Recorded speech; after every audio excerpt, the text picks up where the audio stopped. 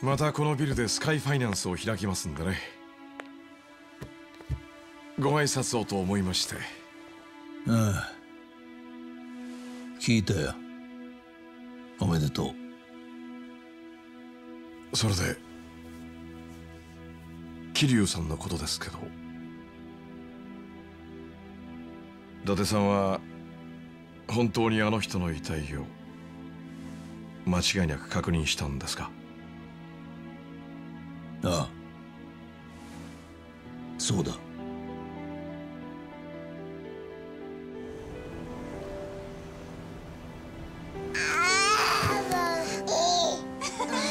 しもう一回だ。な頑張れ。頑張れさあ来いハルト。頑張ってハルト。頑張れ頑張れハルト頑張って頑張って。お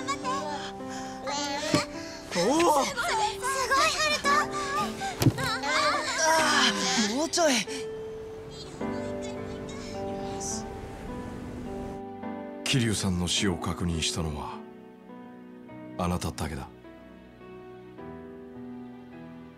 その後遺体は不可解にもすぐ火葬にされちまった。桐生には遺族がいない。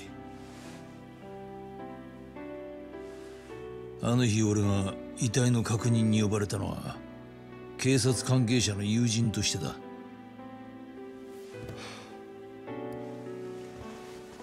何度聞いても答えは同じってことですか。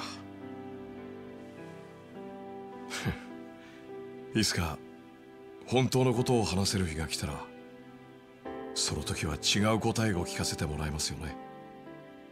伊達さん。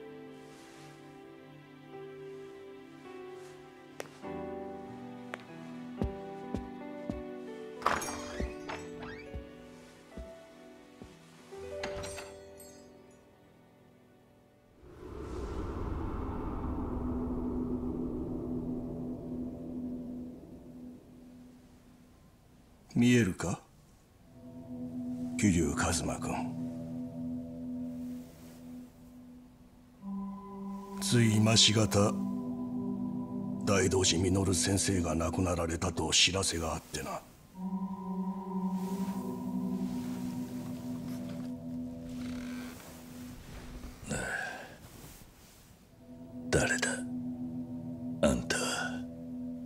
私は政治家としてのいろはを全て大道寺先生に教えられたものだ。今回の尾道の一件マスコミも世間も大騒ぎだ。選挙も近いというのに。全く困ったもんだ。火消しに追われて身が持たんよ。まあ時間が経てば火は消える。そんなものだ。だがつまらん火種が大ごとになることもある。超大和型戦艦クルスタケル岩見恒夫。それらと大道寺先生とのつながりが万が一でも表に出るようなことがあってはならん。そうだろう。もしあんたからマスコミにでも知れれば先生の名前に傷がつく。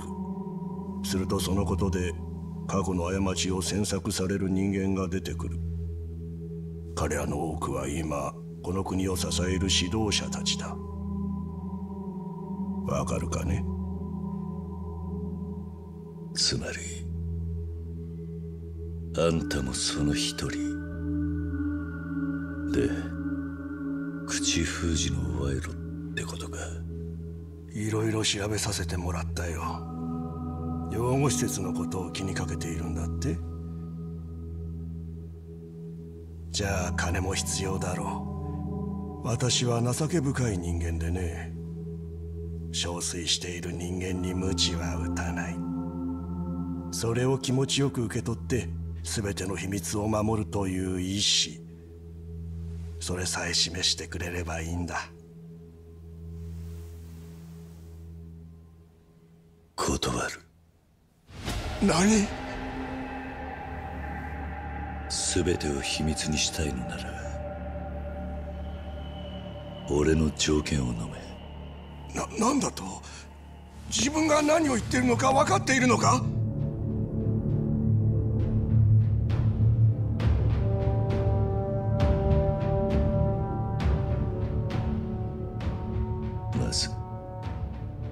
堂島大吾という男を無所から釈放しろ。奴が出てこないと広島で戦争が起こるぞ。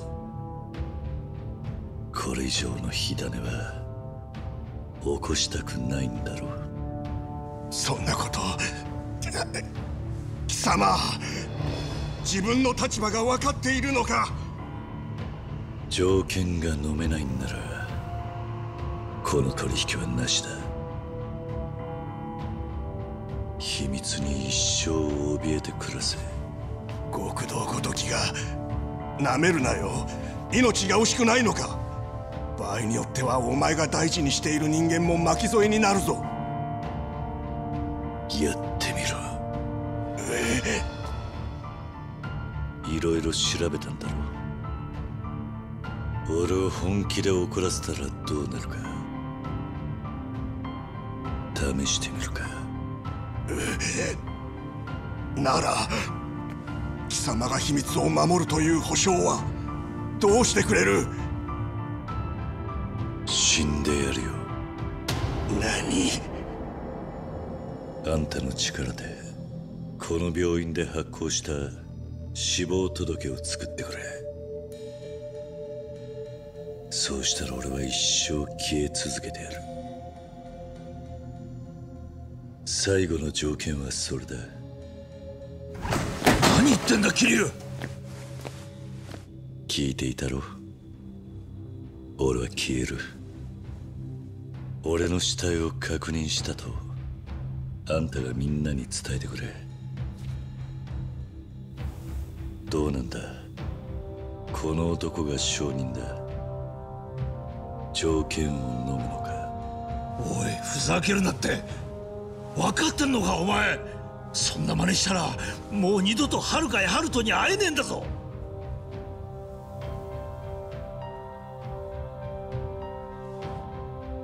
そうだろうな。分かった。その条件。飲もう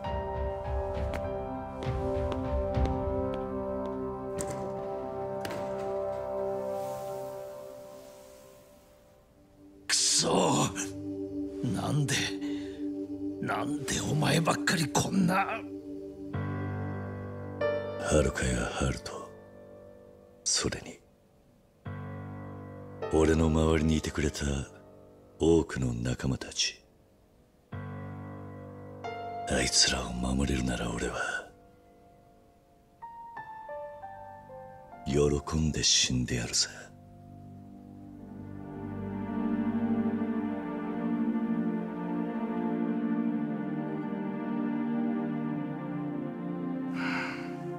たく